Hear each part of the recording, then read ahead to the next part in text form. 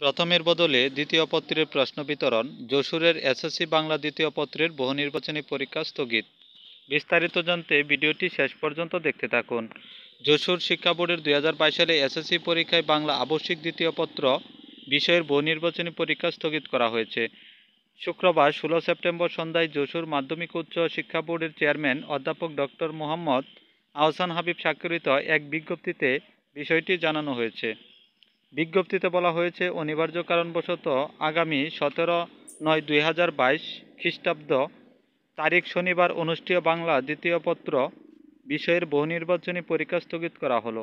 উক্ত বিষয়ের শুধুমাত্র সৃজনশীল সিকিউ পরীক্ষা অনুষ্ঠিত হবে সময় সকাল এগারোটা হতে বারোটা চল্লিশ মিনিট পর্যন্ত। এতে আরও বলা হয়েছে, বাংলা আবশ্যিক দ্বিতীয় পত্র বিষয়ের বহুনির্বাচনী পরীক্ষার তারিখ পরবর্তীতে জানানো হবে। বিষয়টি অতীব জরুরি। জানতে চাইলে Jessore board chairman professor doctor Mohammad Ahsan Habib বলেন, ভুলবশত নড়াইলের কালিয়া উপজেলার একটি এসএসসি পরীক্ষা কেন্দ্রে বাংলা প্রথম পত্রের পরীক্ষার সময় বাংলা দ্বিতীয় পত্রের বহুনির্বাচনী প্রশ্নপত্র এমসিকিউ বিতরণ করা হয়েছে। এই খবরটি যখন চারদিকে ছড়িয়ে পড়ে, তখন আমরা ঝুঁকি নিতে চাইনি। পরে আমরা সিদ্ধান্ত করে এই পরীক্ষা স্থগিতের সিদ্ধান্ত নিয়েছি। কখন স্থগিত পরীক্ষা নেওয়া হবে জানতে চাইলে বোর্ড চেয়ারম্যান বলেন, এসএসসি পরীক্ষা চলাকালীন সময়ের মধ্যে আমরা স্থগিত পরীক্ষা নিয়ে নেব। পরীক্ষা চলাকালীন রুটিনের যেই দিন খালি রয়েছে, সময় করে সেই দিনেই এই পরীক্ষা নেওয়া হবে। এই বিষয়ে শীঘ্রই বিজ্ঞপ্তি প্রকাশিত হবে।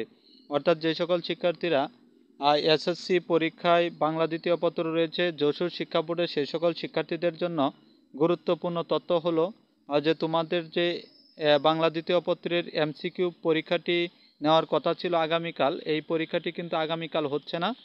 তোমরা নিশ্চয়ই ইতিমধ্যে জানতে পেরেছ, এই পরীক্ষাটি কবে নাগাদ নেওয়া হবে সেটি কিন্তু এখনও পর্যন্ত সুনির্দিষ্টভাবে বলা যাচ্ছে না। তবে যশোর শিক্ষা বোর্ড চেয়ারম্যান কিন্তু তিনি জানিয়েছেন যে যে কোনো সময় মানে এসএসসি পরীক্ষার যে সময় রয়েছে, এই সময়ের মধ্যেই যে কোনো দিন একদিন এই বিজ্ঞপ্তির মাধ্যমে জানিয়ে দিবে যে পরীক্ষা কবে অনুষ্ঠিত হবে।